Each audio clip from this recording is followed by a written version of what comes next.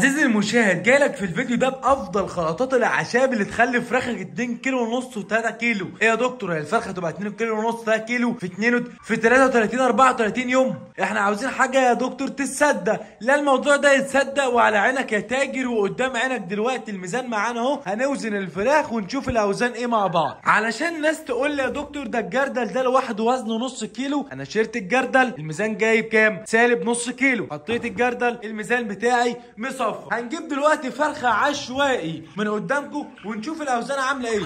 أدي فرخة أهي. أهي قدامكم يا جماعة. على الميزان كام؟ 2 كيلو ونص. يعني إحنا الخلطات اللي أنا هقول لك عليها في الفيديو ده مش هزار مش خلطات أنا عاملها أو أقول لك أي كلام في الفاضي. ده على أرض الواقع. أنا دلوقتي أعرفك أنا كنت بعمل إيه مع الفراخ دي. بص حيوية الفراخ وشكل الفراخ. تعالى أنت كده. بص كده.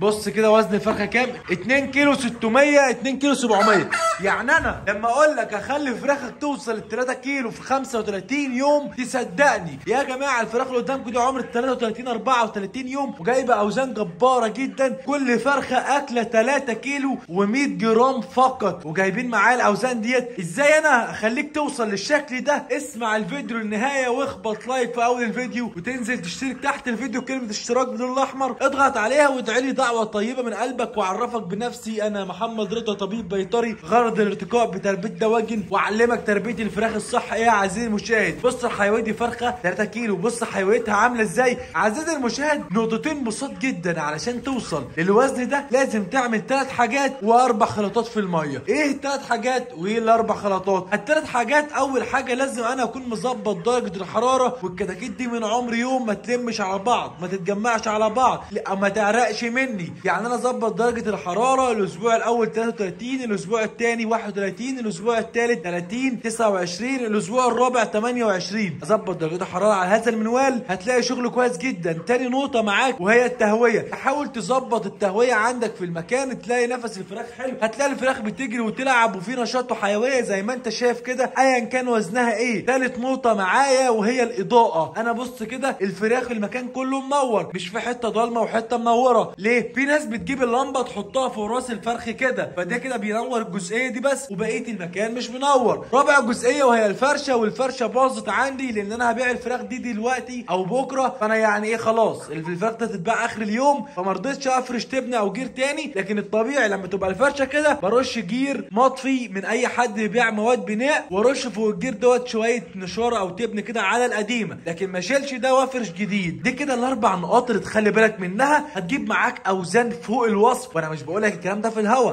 ده على عينك يا تاجر والميزان قدامنا اهو يا جماعة. النقطة اللي بعد كده عايزين المشاهد بقى إيه الخلطات اللي استعملها. هقول لك الخلطات اللي تستعملها إيه بس سمعني الصلاة على حبيب كده عايزين المشاهد 10 ثواني بس هقول لك اعمل لك عرض اسمه عرض المتابعة. بتابع فيه أنا شخصيا. دوره الفراخ بتاعتك من عمر يوم حد البيع. ده بيكون بمقابل مادي بسيط جدا. بكلمك في التليفون بكلمك على الواتس بقول لك اليومين الجايين هنعمل كذا. اليومين اللي بعدهم هنعمل كذا. نظام المتابعة ده المقابل المادي بسيط جدا. حابب تشترك معاه في عرض المتابعة كلمنا على رقم الواتس اللي ظهر قدامك على الشاشة. أعزائي المشاهدين دي الأوزان اللي مطلعينها الدوره اللي فاتت وأوزان الدوره دي انت شفتها على الميزان ودي برضو أوزان الدوره اللي قبلها. أتمنى يكون لحبايب قلب التوفيق. إيه هي الخلطات اللي هي سر التسمين يا دكتور؟ الخلطات اللي هي سر التسمين أعزائي المشاهد. رقم واحد معايا هعمل حلبة مع قرنفل هجيب شوية حلبة حصى أحطهم في كنكه وعليهم شوية قرنفل أخليهم يغلوا كويس جدا. وبعد ما يغلوا أحط 20 سم على اللتر أو 10 سم على اللتر مفيش أي مشكلة معايا. أنا غليت كنكه وأنت عندك 100 فرخ وزع الكنكه على الثلاث ساعات أربع ساعات. عندك عنبر إغلى حلة كبيرة وهكذا. إيه الخلطه رقم 2 معايا. الخلطه رقم 2 معايا الكمون. أجيب كمون وأغليه وأحط 10 سم على اللتر هيعالج لي أي مشكلة معوية. ممتاز جدا. الخلطه رقم 3 معايا وهي اليانسون. اليانسون منشط كبدي ممتاز جدا. ومعنى إن هو منشط للكبد. الكبد ده هو الأساس الجهاز الهضمي. تلاقي الجهاز الهضمي عندك كفاءته على أكمل وجه. واللي خلاني أوصل للوزن ده إن أنا مهتم بالجهاز الهضمي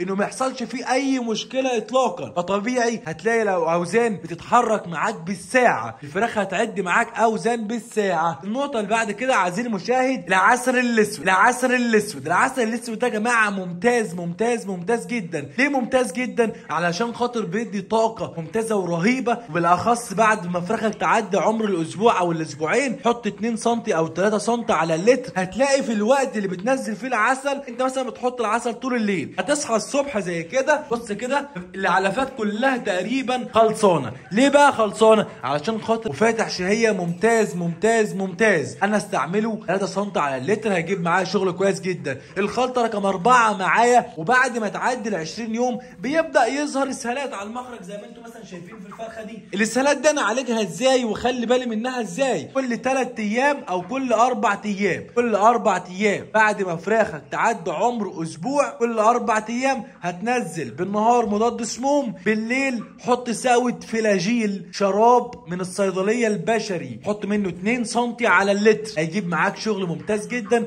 مش هتلاقي أي كشاشان مفاجئ مش هتلاقي أي رقود على الأرض مفيش أي مشكلة العلف هيعملها لك وأكل أي نوع علف أنت تحبه مش هيفرق معايا. دي كده تقريبا الأسرار اللي هتخلي فراخك وزنها كويس جدا. حضرتك برضو لسه يعني أنت فاهم بس عاوز تفهم أكتر أنا بقى هبيع الفراخ دي النهارده بالليل يومين اتنين أو تلاتة هننزل كتاكيت صغيرة. تابعني علشان أنا دي. كل يوم هصور لك عنها فيديو. أقول لك اليوم كذا تعمل كذا اليوم كذا تعمل كذا على اليوتيوب. لو أنت حابب بقى تشوف السلسلة ديت تحت الفيديو كلمة اشتراك باللون الأحمر. اضغط عليها واشترك معايا في القناة عشان يوصلك السلسلة دي. عزيزي المشاهد عملت لك أنا حاجة اسمها توقعات السوق. يعني أنا بقول لك الثلاث أيام الجايين الفراخ ممكن يرخص ممكن يغلى. وركز إن أنا قلت إيه؟ قلت ممكن لأن ده توقعات مش حاجة مؤكدة. أنا إزاي أظبط شغلي على هذا المنوال؟ ظبط شغلك على هذا المنوال من حيث إيه بقى؟ أنت كمربي شوف الأيام اللي الفراخ هتغلى فيها وتبيع فيها. طب أنا كمستهلك باكل فراخ ومش بربي أبدأ أعمل إيه بقى؟ أشوف الوقت اللي الدكتور هيقول فيه كيلو الفراخ هيرخص بشتري فيه لبيتي. تمام؟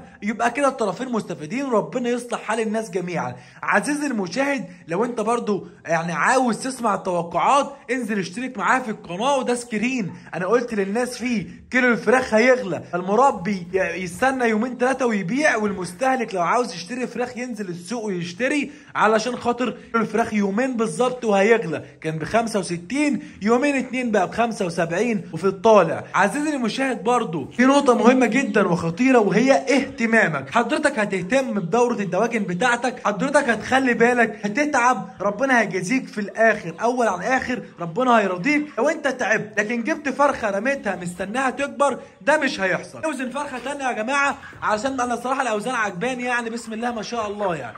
نجيب فرخة كده اهي قدامكم زي ما أنتم شايفين. فرخة تاني اهي 2 كيلو و300 طيب تعالي انت يا حلوة. فرخة تاني اهي أصغر فرخة يا جماعة 2 كيلو 100 دي الصغيرة بص دي الصغيرة اهي. طيب نجيب برضو فرخة تانية اهي. مع بعض كده بس إيه نوزن كذا فرخ عشان الناس تصدقنا بس.